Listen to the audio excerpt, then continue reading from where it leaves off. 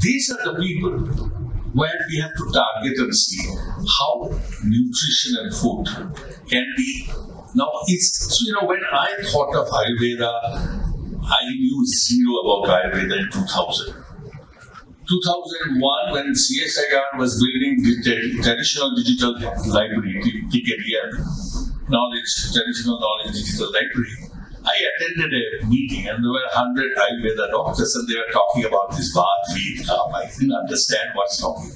So I came back and asked Dr. Mitali, can I read about it? Looks like there is a relationship because we are talking about that time, how would be personalized medicine, you know, talking is very nice in 2000, right? I knew Ayurveda has personalized, but I had no idea how Ayurveda works. Means these are the people where we